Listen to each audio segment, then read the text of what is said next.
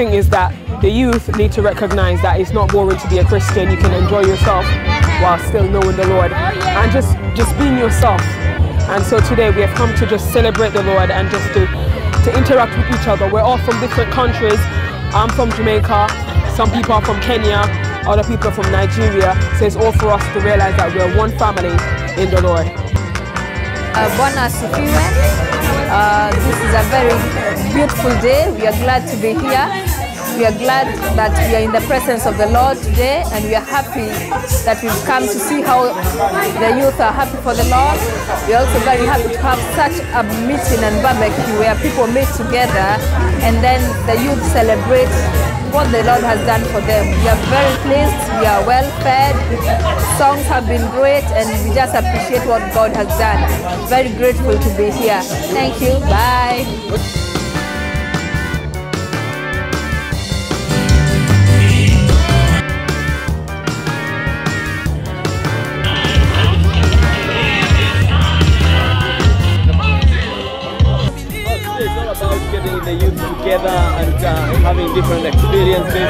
Like talking from my own experience when I was growing up, at times you could go with our fathers and they would just let us become young men. Though we are we are Kenyans abroad, different people abroad, we also got a kind of a life where we can be able to relate to one another. Today has been a fantastic day.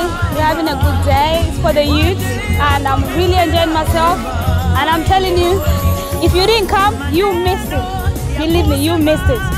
Plenty of nyama choma, puff puff, if you wanna call it dumplings, kachumbari, burgers, everything is everywhere. Look at the young people here. We're enjoying ourselves.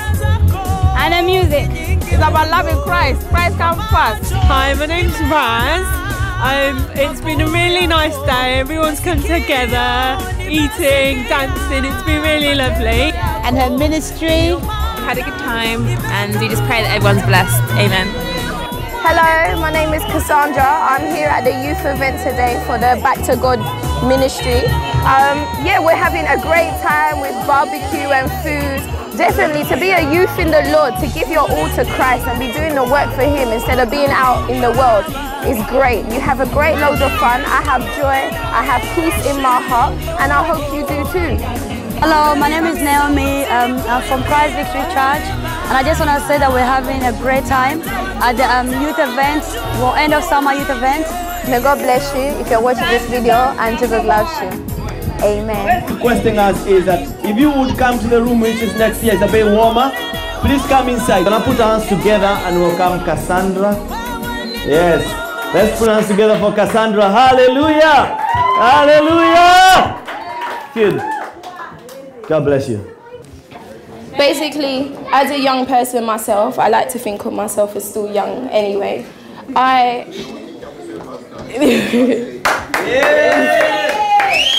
I basically take this word to just mean to me that life is about choices. We all have choices each and every day about what we choose to do with our life. Today, you all chose to be here. You're going to choose how long you stay for, and you're going to choose whether you have a good time or a bad time. In God, as a Christian, you have a choice. You have a choice whether to be a religious Christian, a church goer, someone who just attends because maybe your parents said to attend or because you, that's what you believe good people should do. Or you can choose to actually have an encounter with God, a relationship with God. You can actually choose to have the Holy Spirit into your heart. You can choose to make Christianity a lifestyle, or you can choose to just say it's a religion for you. So in my life, I've chosen to walk with God because I've been in the world and it has nothing to offer. I know everyone says that, but I have tried everything out there and it's just deception. It, there is no good in the ending. When you're clubbing for from when you're 16 to 27, tell me when you're 45 what profit that brought you to your life. When you're drinking for 15 to 20 years, what profit for your life does that bring you when you're old and you're dying? As the scripture I read says, Don't chase after the things in this world. They're temporary. When you die, you can't take those things with you. No one is going to stand at your funeral and say, Yeah, she was a great raver. Yeah, she was a great girlfriend. No one's going to say that. But let your legacy be that you know what your character, your model conduct inside you, you were a woman, a man, a child, a boy of God. You know what? That you left inspiration, that the youths, even if you die young, for example, they can look at your funeral and desire to be what you were, to desire to have what you have. I'm not here to tell you that walking with God takes away your situations, you have no problems, your life is blessed but He gives you the strength to cope. He gives you the strength to make the difference. At school, at college, two of you will sit the same exam, but the one who has chosen to have an encounter with God, not only will you have strength to juggle the exam, home life, and work and everything else you're going through, but you, the mark that you will get, it will show the excellence that comes from walking with God. The experience that when you dig deep into God, He reveals so much to you. You don't even have fear of dying. I just wanted to say one more thing to the youths. Who told you that you will die when you are old and peaceful? The fact is, you're more likely to die an unnatural death than a natural one. And you know what? There's no point fearing death because it's going to happen. But when you go, have the assurance of what you lived your life was for, what you stood for, and have the assurance of where you're going after death. I ask you to be an example. We're all like, it's the end of the summer holidays now. Go into your colleges, go into your workplace, go into your homes and make the difference. Don't dishonor God by saying you're a Christian, but living a different kind of life. Give God the honor and the glory through your lifestyle. Make changes, search yourself. You know whether you're a real Christian or a fake Christian. I urge you today to be a real Christian, solid and true, because He needs workers. He needs people who are ready to say, Here I am, Lord, send me, no matter the cost. Because this world, fashion, we're not even wearing last year's fashion. So it's not worth it. We're not even, that job that you used to desire, it's not even worth it because as you grow up, you seek more things. Life is getting harder. We thought we were broke last year.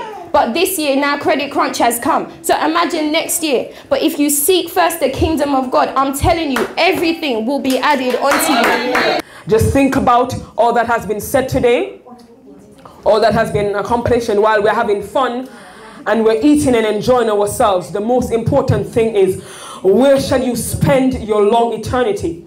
After wasting many years in your trespasses and sin, where shall you spend your long eternity? This is not about a particular church. This is about the youth people. You see, the experience of Lucy, Michelle, and Perpetua in a road accident, it was a powerful message to the youth to know this, that it is only a matter of seconds and your life could be in jeopardy. And therefore, we say that sometimes it would be nice for us to come as the youth. Maybe we can educate one another.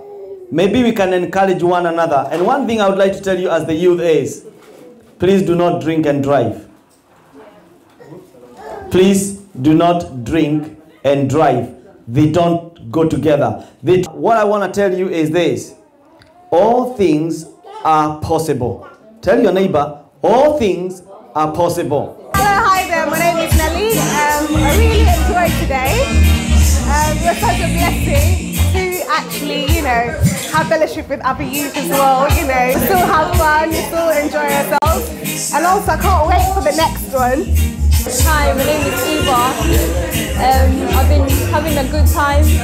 Such a blessing to see the youth coming together and just doing all this with Ian. We've had fun, we've danced, we've sung, you know, we prayed, and it's such a blessing. I wish next time will be much better and we should be there. Thank you. God bless. I'm really happy for the things that have happened here today. All about the youth. I've never seen so many youth in my life. I'm just thanking the Lord for what He's done in our in our lives. Uh, we've been organizing for a few weeks, and I just want to say a special thank you to Grace, because she's been organizing all this, calling the youth, and God is faithful. Uh, it's wonderful for this day. Everyone who's participated, the drinks, the nyama choma, the burgers, it was wonderful. And thank you so much, Mr. Peter Vision, even for coming all the way from Portsmouth, for being here with us. Thank you so much. Thank you for the DJ. Hallelujah. God is faithful. Amen.